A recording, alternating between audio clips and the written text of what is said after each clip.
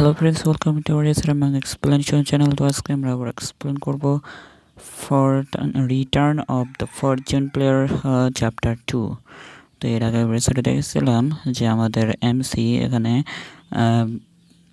মূর্তি থেকে বের হয়ে গেছিল তো মানে বরফের মূর্তি থেকে ভেঙে বের হয়ে গেছিল।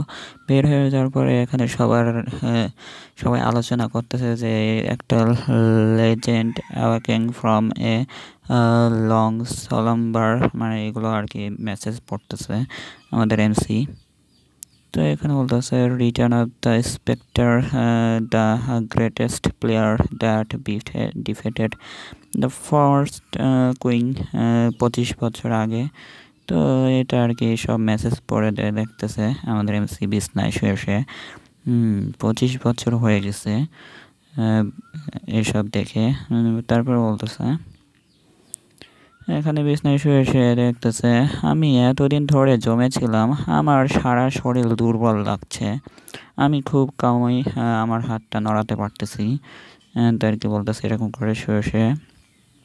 হুম, আমার বডি এখন অনেক নড়াচড়া করতেছে মানে কাঁপতেছে।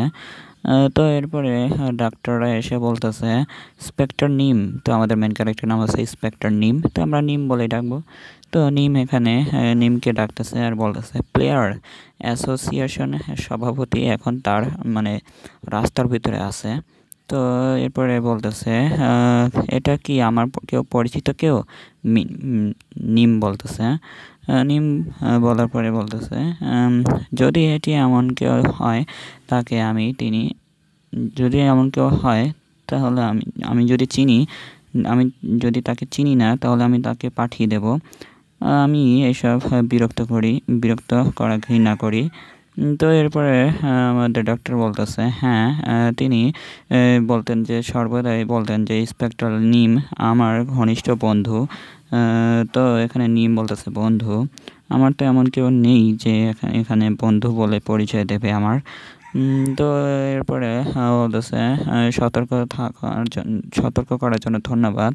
ভালো, আমি মনে করি আমি একটু অসুস্থ, তো একবার একটু দেখে নিলে ভালো হয়। তাই বলে এখানে বলতেছে এরকম করে। যাই হোক, পৃথিবীটা সত্যি পরিবর্তিত হয়ে গেছে। তো এখানে নিম বলতেছে কি? তো, যদি পৃথিবীটা আমরা এটাই কামনা করেছিলাম যে পৃথিবীটা শান্তি হোক আর কি, শান্তিতে থাকুক। তাই আর কি বলতেছিল এরকম করে। তো একটু মন খারাপ হয়ে মানে মন খারাপ হয়ে বলতেছে, তাহলে এখন কি করতে হবে? আমি তো শুধু যুদ্ধ করতে জানি। তো মন খারাপ হয়ে বলতেছে, আমি তো শুধু এখন যুদ্ধ করতে জানি, তাহলে কি আমি এখন বেকার? মানে তাই বলে অনেক নিরাশ হয়ে গেছে। তো এরপরে মুখোশটা খোলার চেষ্টা করতেছে, ভালো, আমি তাহলে এখন আমার এই মাস্কটা লাগবে না তাহলে। তাই বলে এখানে মাছটা খুলে ফেলছে। তো আমাদের এমসির চেহারাটা দেখানো হয় অনেকটাই ভালো অনেক সুন্দর আছে। তো এরপরে বলতেছে ইন্সপেক্টর নিম মানে বাকিরা বলতেছে, বাকিরা হ্যারান হয়ে গেছে অনেক। হ্যাঁ তুমি মাস্কটা খুলছো কেন? ডাক্তার বলতেছে, আর সবাই ঘাবড়ে গেছে। কি? আমি আর হব না তো এই প্লেয়ার আর হব না তাই বলতেছে এখানে। কারণ পৃথিবীটা শান্তিপূর্ণ হয়ে গেছে। আপনার ছেলেদের তো আর কোনো হিরোদের দরকার নেই, তাই না? তাই বলতেছে এরকম করে। তো ডাক্তার অনেক ঘাবড়ে গেছিল। হ্যাঁ কী সমস্যা? তো তাই আর কি বলতেছে। তো এখানে যে আসার কথা ছিল সে এখানে চলে এসেছে আর বলতেছে, আমি এখানে সব কিছু এক্সপ্লেন করে দিচ্ছি। তো এরপরে বলতেছে, আর তুমি তুমি তো পারহাপস ডিউকো তাই না? তাই বলে এখানে সবাই একটু হাসাহাসি করতেছে, মুখ সামলায়। পারহাপস ডিউকো তো আমি তার সাথে একটি ব্যক্তিগত কথোপকথ করতে চাই। ডিউকো বলতেছে কি জান, কি জানাব, জি জানাব, তাই বলে এখানে সব চলে যাচ্ছে। তো জন হো তো আমাদের আরেক মেন ক্যারেক্টার আরেকটা নাম হচ্ছে জন জন হো তো বলতেছে তোমার মানে তোমার শরীরটা এখনও এক সেম আছে মানে কোনো বয়সে পরিবর্তন হয়নি। তো এরপরে বলতেছে হ্যাঁ তোমার ভয়েসটা দেখে মনে হচ্ছে তুমি সত্যি ডিউক তাই না? তাই বলে অনেক হাসতেছে। তো হাসার পরে অনেক জোরে জোরে হাসতেছে তো এরপর বলতেছে, তুমি তো এখনও মানে তোমার টাকটা সারাতে পারলে না?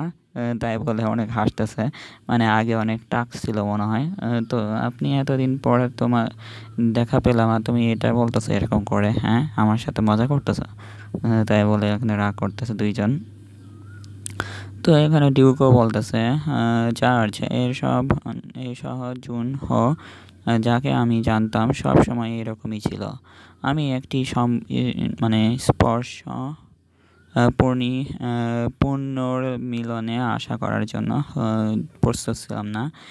যে, আপনি কি আশা করছিলেন আমাকে, আমার কাছ থেকে? তো এরপরে বলতেছে মিং বলতেছে তাই পঁচিশ বছর পেরিয়ে গেল তারা টাকা মারতে মানে সারতে পারেনি, তার টাক সারতে পারেনি তারিক বলতেছে তুমি একটুও বদলাওনি। তাই বলতেছে এখানে, আপনি এখনও ঠিক একই, যদিও আপনি এখন একটু ভিড়, ভিন্ন চেহারা দেখাচ্ছে তো তাই আর কি বলতেছে জনহো তো জনহো এর আরও আরও বলতেছে তো এই ডাক্তাররা এরকম চমকে উঠল কেন? আমার কথা মানে মাস্কটা মানে বের করার জন্য। তো আমি বলতেছি এখানে তাই বলতেছি ডিউকো যে পঁচিশ বছর আগে যেই মুহূর্তে তুমি ওই আইস কুইনটাকে হারিয়ে ফেলেছিলে তো তখন আমার সমস্ত খেলোয়াড়দের কাছে একটা নোটিফিকেশন চলে আসছিল যে আমরা তুষার রানীকে হারিয়ে ফেলেছি মানে আইস কুইনকে হারিয়ে ফেলেছি। তো জুন হু আপনি এটা করছেন করেছেন? তাই বলতেছে এখানে মানে আগে যখন হারাইছিল তখন বলতেছিল। তো বলতেছে নিরাপদ অঞ্চলে আহ, আর অর্থ যে এলাকাটায় প্রদর্শিত হবে। তাই বলে এখানে একটা মেসেজ চলে আসছিল। বিশ্ব বিশ্বজুড়ে সবাই এখানে আনন্দিত আনন্দিত আর কান্নাকাটি করতেছে। সবাই অনেক খুশি। তো এরপরে কিন্তু বিশ্ব এক মিনিটের জন্য আনন্দ থাকতে দেয়নি। তো এরপরে বলতেছে আরেকটা মহাস প্রশান্ত মহাসাগরে একটি প্রান্তিক লিফট স্থাপন করা হয়েছে। তাই শুনে সবাই অনেক ঘাবড়ে গেছে। দ্বিতীয় তলা দ্বিতীয় তলা শুনে অনেক নিরাশ হয়ে গেছে সবাই। নিরাশ হয়ে যাওয়ার পরে বলতেছে, সীমান্ত এলাকা এখন যাওয়া সম্ভব? তাই বলে আরেকটা মেসেজ চলে আসছে কি এটা কি ফালতু কথা? দ্বিতীয় তলা তুমি কি যা আমাকে বলছো যে ওই আইস কুইংটা শেষ মানে শেষ ছিল না? তাই বলে এখানে সবাই রাগারাগি করতেছে। তো রাগারাগি করার বলে বলতেছে ফাইনাল ফ্লোর এটা strong strong unit the final floor বলে একটা মেসেজ আসছে। তো এরপরে বলতেছে যে বিশ্বের খেলোয়াড়রা কি সীমিত? তাই এখানে মিটিং চলতেছে সবাই। মানে যতগুলো হান্টার আছে সব একসাথে মিটিং করতেছে এবং পলিশিয়ানরা একটি বৃহৎ সবার জন্য জড়ো হয়েছিল। তো এখানে আমাদের কিছু টিমকে দেখানো হয়। দীর্ঘ বৈঠকের পর তারা সীমান্তে একটি অভিযান দল পাঠাইছিল। তো পাঠানোর পরে এখানে ফার্স্ট এবং সেকেন্ড তলা ফ্লোরটা আর কি ক্লিয়ার করা হয়েছিল। তো এরপরে বলতেছে প্রে প্রে করতেছে, আর বলতেছে, শুধু তাই নয় মানবতার নতুন জাদু এবং প্রযুক্তি অর্জন করেছে। তবে তারা দশটি বিপুল পরিমাণ সম্পদ এবং জ্ঞান অর্জন করেছে। তো এটা বলতেছে, তারপর কি? মিং বলতেছে যে বর্তমান সমৃদ্ধ পৃথিবী তৈরি হয়েছে। তো এরপর বলতেছে, বর্ত আমি যা জানতে চাই তা নয়। তো এখানে বলতেছে ডিউকো যে দশটি ফ্লোর আছে মোট। তো মাতৃক লিফটে মোট দশটি তলা আছে। দশটি তলা, মিং বলতেছে। তো এখানে বলতেছে হিমরানির পরান্ত সার করতে। মানে হিমরানিকে মারার জন্য আমাদের পাঁচ বছর লেগে গেছিল। এখন পঁচিশ বছর পরে আবারও এখানে সেভেন মানে দশটা ফ্লোর এখানে শেষ করা লাগবে। আবার এখানে, তারা কি সাত ফ্লোর পর্যন্ত করতে পারবে? তাই আর কি বলতেছে? আমরা দল ইএক্স চার্ট বাকি খেলোয়াড়দের তুলনায় অনেক দুর্বল ছিল। তো সেই কারণে শুধুমাত্র এই আমরা অ্যান্টার্কটিকে অ্যান্টার্কটিকায় গিয়েছিলাম। তো এরপরে বলতেছে তাহলে আমরা কোন তলায় আছি? তাই আর কি বলতেছে মিং। তো এখানে ডিউকো বলতেছে, তুমি চুপ করে আছো কেন? মানে মিং বলতেছে, তুমি চুপ করে আছো কেন? তারপর বলতেছে, এই পঁচিশ বছর পর হিউম্যান মানে লাস্ট আর ক্লিয়ার করা হয়েছিল। তো শুধু সেকেন্ড ফ্লোর তাই বলে নিরাশ হয়ে গেছে অনেক। আর এখানে আমাদের মিং এখানে হতাশ হয়ে গেছে শুনে। কি মাত্র পঁচিশ বছর ধরে মাত্র সেকেন্ড ফ্লোর তো তাই বলে এখানে চিল্লাচ্ছে নিঃশ্বাস হয়ে। আমি আমার আর কিছু বলার নেই তাই বলতেছে ডিউকো তো এখানে তাই শুনে বলতেছে, এই পঁচিশ বছর পরেও আবার শুরু করা লাগবে আমার। তাই বলে নিরাশ হয়ে গেছে অনেক। মানে সব কিছু শেষে তুমি বলতেছো মাত্র সেকেন্ড ফ্লোর এখানে ক্লিয়ার করা হয়েছে। হ্যাঁ? তাই বলে রাগ হয়ে গেছে অনেক। তো ভালো। আমি কৌতূহলী কারণ তো শুধুমাত্র আপনি শুনতে হবে মানে আপনাকে শুনতে হবে, শোনাতে হবে আরও তো এটা কতটা বোবা? কারণ ডিওকো এখানে চুপচাপ হয়ে আছে। দ্য ফার্স্ট কুইন নাসলস মানে তাই বলতেছে। এখানে কুইন নাসলস শুনে অনেক অবাক হয়ে গেছে। মানে ওই সেকেন্ড ফ্লোরের পরে যাইতে গেলে পরে সেকেন্ড কুইন নাসলসের দরকার। তো সেটা আর কি শুনে মানে একটু অবাক হয়ে গেছে কারণ আমাদের এমসি এখানে সেকেন্ড কুইন নাসলসটাকে তো অবজার্ভ করে নিয়েছিল। অবজার্ভ করার কারণেই সে এখানে জমেছিল মানে বরফে। তো তৃতীয় তলায় একটি আগ্নেয়গিরি অঞ্চল। এই কারণে শুধুমাত্র হাতে গোনা কয়েকজনই আছে যারা এই আগুনের তাপগুলোকে রেজিস্ট করে মানে দুই তলা উপরে পর্যন্ত যেতে পেরেছে। কিন্তু অনেক দিন পর আমরা লাভার সমুদ্রের মাঝখানে একটি বেডি খুঁজে পেয়েছিলাম। মানে একটা দেখা যায় এরকম করে সার্কেলের চিহ্ন খুঁজে পেয়েছে। পরিবেশকের শীতল করার জন্য। সেই বেডির প্রয়োজন। মানে তুষার রানীর ওই নিউক্লিয়াসটা প্রয়োজন।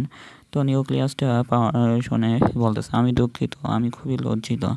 আমরা অসংখ্যবার এটা অনুসন্ধান করেছি কিন্তু আমরা শেষ পর্যন্ত খুঁজে পাইনি। তাই বলে অনেক নিরাশ হয়ে গেছে আমাদের ডিউকো। সে একটি, যে একটি দেওয়া উচিত তাকে।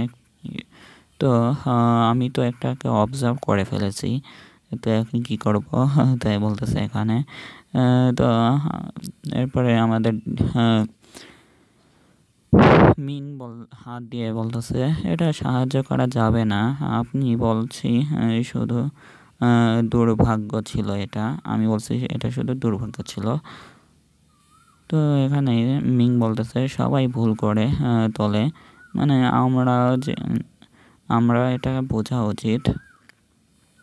তো আমাদের মিং এখানে দেখা যায় তার পিছনে অনেক লাইট পড়তেছে আর বলতেছে, তাই যদি আমিও ভুল করি তাহলে আমাকে বুঝতে হবে, ঠিক আছে? তাই বলে, এখানে এরকম করতেছে, আর মনে হচ্ছে কোনো একটা ফ্রেস্তার মতন লাগতেছে। তাই শুনে এখানে ডিউক অনেক চমকে গেছে। তো এটা খুশি হয়ে গেছে, এটাই শুনে। যে, অবশ্যই, কীভাবে পারলাম না আমি এটা?